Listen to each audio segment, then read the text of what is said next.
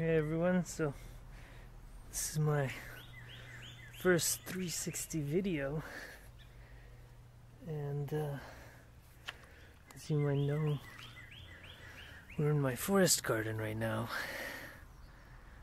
and uh, you can see it all around you, I guess. Alright, and this is, uh, I have to give the introductions later, but right now it's a vernal pool state right now. If you, if you look behind you, then uh, over there, it's, you can see it's quite the pond. I had to do some uh, recent expansion work, as you can see over here, and uh,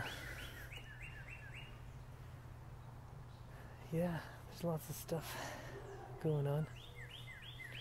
It's my wood pile. Alright, one minute. Good enough. Good enough.